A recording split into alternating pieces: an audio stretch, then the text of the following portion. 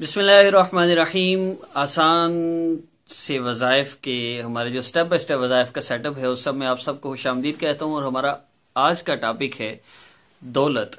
मालो दौलत की फरवानी और मालो दौलत के हसूल के लिए अमीर होना चाहते हैं, अपना घर हासिल करना चाहते हैं, अपनी गाड़ी लेना चाहते हैं, कोई भी आपको ऐसी ख्वाहिश है। देखिए, अल्लाह रबुल्ज़त इस दुनिया में जितने भी ख़जाने बनाए हैं, ये सारे के सारे आपके लिए जनाब। लेकिन अल्लाह रबुल्ज़त ने हमें एक राह दी है रास्ते दोनों हैं। याद रखिए, आपकी किस्मत में अगर घर लिखा हुआ है तो मिल के रहेगा। लेकिन रास्ते दो हैं।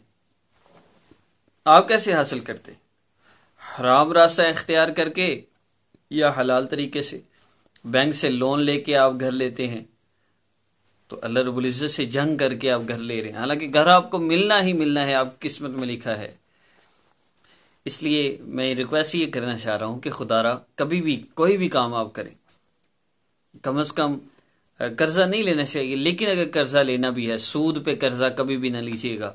ये बैंक वाले जिस तरह भी हलाल करके दिखाएँ, हराम है हराम है। सूद पे कर्जा ना लीजिए। अगर सूदी कारोबार है, कोई सेविंग पे अकाउंट है करंट अकाउंट नहीं है सेविंग पे अगर कोई अकाउंट है तो उसको भी बंद कर दें, क्योंकि आप अल्लाह से जंग कर रहे हैं। अगर आपने कोई इंश्योरेंस करवा रखी है, कोई लाइफ इंश्योरेंस है जुबली लाइफ इंश्योरेंस है, कोई और, ये मैं उन मुल्कों में बात कर रहा हूँ जिनमें इंश्योरेंस नेसेसरी नहीं। जिन मुल्कों में गवर्नमेंट की तरफ़ से पाबंदी है, करवानी ही करवानी है तो वो गवर्नमेंट गुनागार है। आप गुनागार नहीं हैं, आपके दिल में सिर्फ़ एहसास नदामत हो, अल्लाह हम नहीं चाहते, लेकिन हमारी मजबूरी। मैं उन मुल्क की बात कर रहा हूँ, जैसे पाकिस्तान हो गया, इंडिया हो गया, इस तरह के जो मुबालक है जहाँ पर इंश्योरेंस का कोई नज़रिया नहीं सिवाय हराम पैसे कमाने के तो यहाँ पे आपके लिए जायज़ बिल्कुल नहीं। वहाँ भी जायज़ नहीं है, लेकिन कराहत के साथ हमने अब वहाँ रहने ही रहना है तो ज़ाहिर सी बात है मजबूरी है। तो ये दो बातें क्लियर हो गई। अगर आपने इंश्योरेंस करवा रखी है, असल रकम आप ले लें। बाकी सारा अगर आपको कोई पैसे निकलवाने से मिलता है तो उसको बगैर स्वाब की नीयत से सदका करें। सदका नहीं, बगैर स्वाब की नीयत के किसी गरीब को दें। और खुदारा अल्लाह से जंग बंद कर दे, वरना परेशानियाँ तो आपको नहीं छोड़ेंगी। अगर आप ऐसा कुछ भी नहीं करते और नमाज़ की पाबंदी करते हैं तो फिर अगर आपको मसला है तो आप ये मुख्तसर से अमल करेंगे। सिर्फ़ तीन दिन। तीन दिन के अंदर अंदर इनशाला आपको खातर खा फ़ायदा होगा। इनशाला मालो दौलत की फरावानी होगी, रिस्क में बरकत होगी। और तीन दिन के अंदर ही आप महसूस करेंगे कि पहले इतना पूरा नहीं पड़ता था जितना इन तीन दिनों में पड़ गया।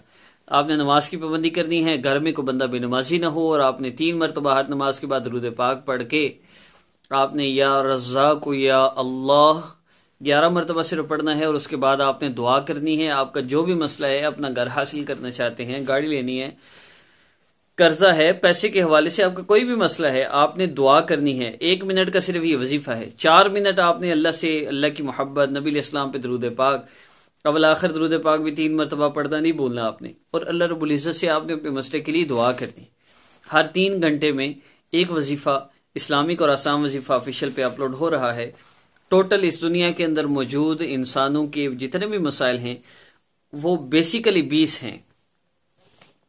हम उन मसाइल पे वीडियोस अपलोड करे हैं।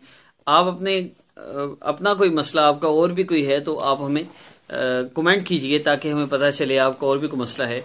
हम उस पर भी वीडियो अपलोड करें, क्योंकि जो हमारी नज़र में मसाइल तीन साल में गुजरे हैं, वो सारे यही हैं। बाकी उनकी रूट्स हैं। जैसे पढ़ाई का है तो पढ़ाई में आगे सबक याद ना होना, याद हो लेकिन बाद में भूल जाए, पेपर देते हुए भूल जाए मोस्टली आगे एग्ज़ाम है। उनके लिए एक वजीफा काफ़ी। दौलत के हवाले से कोई भी आपको मसला है, आपने कर्ज लेना है, देना है, आपने घर लेना है, आपने गाड़ी लेनी है, आपने किसी के पैसे देने, कोई भी मसला है, ये अमल काफ़ी है। आप इसको करें, उसके बाद दुआ करें, अमल के शुरू और आखिर में दरूद पाक पढ़ना बिल्कुल ना भूलिएगा। और खुदारा अपना, अपनी वालदा का नाम देकर अपने आप को जलील मत करवाएँ, किसी उनको इजाज़त ना दें कि वह आप पर जादू बंदिश खुद करते रहें। और जो आपसे इस मसले के लिए आप पर जादू है, बंदिश है कार्ड करते हैं, पैसे दें, ऐसे लोगों से बिल्कुल रबता न करें। अल्लाह रबुल्ज़त आप सबके सब मसलों को हल फरमाएँ। मेरी दुआ है, लंबे लंबे वजीफ़े करने छोड़ दें। हर तीन दिन बाद दौलत के हवाले से एक वजीफ़ा अपलोड होगा। ये वजीफ़ा करें तीन दिन में दवाई खाने से आराम ना आए तो दवाई चेंज करेंगे। बस यही हमारा सेटअप है। इनशाला आपको फ़ायदा होगा। अगर मसला हल ना हो तो चेंज योर लाइफ कोर्स भी करें। जो बंदा कोर्स करते हुए वज़ायफ़ कर ले, एक महीने में जो मसला हल होना है, वो एक हफ़्ते में हल होगा इन इस साजिश को भी अपनी दुआ में याद रखिएगा। असल वरहमल